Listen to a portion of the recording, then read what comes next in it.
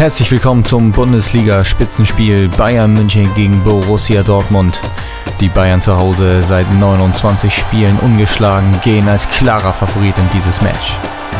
Vierte Minute, Robben auf Thiago, Thiago raus auf Lahm. Lahm hat das Auge für Ribéry, das Ding ist drin.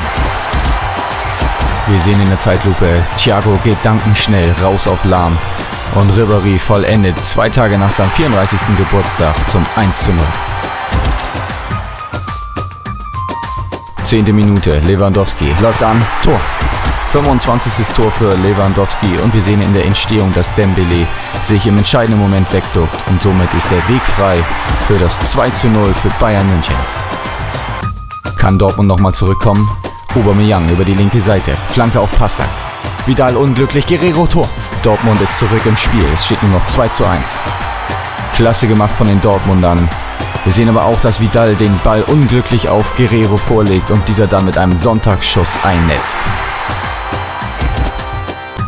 Die Bayern in der zweiten Hälfte unglaublich stark. Robben in Bestform. Lässt Sokrates aussteigen und drin. Keine Chance für Birki. Robben macht das einfach super.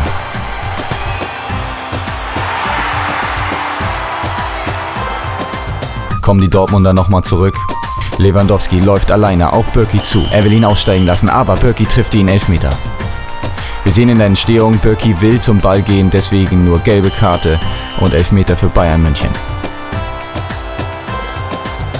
Lewandowski läuft an. Keine Chance für Birki.